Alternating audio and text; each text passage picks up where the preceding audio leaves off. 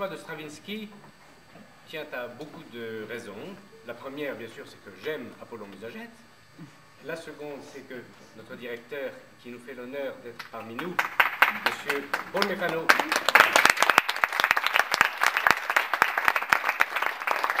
spécialiste de la musique d'avant-garde, n'est pas ennemi de la musique ancienne comme celle de Stravinsky.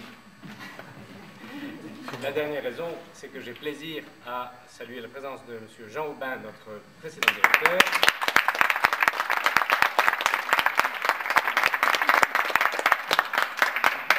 qui, lorsque j'étais élève dans cette maison il y a quelques semaines, m'a fait découvrir Stravinsky.